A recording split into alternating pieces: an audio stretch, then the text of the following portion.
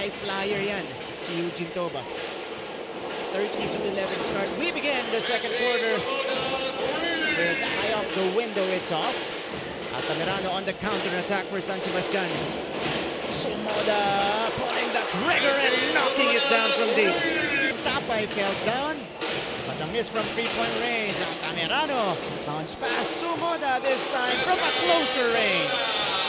Personal, five to nothing run for this guy.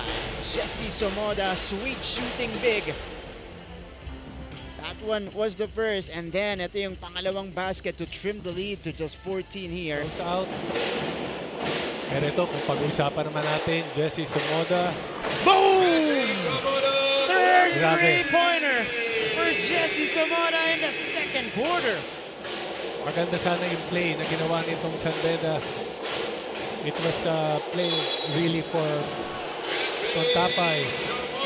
How about that? Big boy move from Jessie Sumoda.